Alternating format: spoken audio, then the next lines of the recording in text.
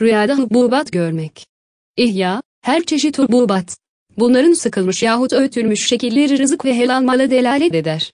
Diyanet, bir kimsenin rüyasında hububat ticaretiyle meşgul olduğunu görmesi, o kimsenin ileri görüşlü, medeni cesaret sahibi bir kimse olduğuna yorumlanır.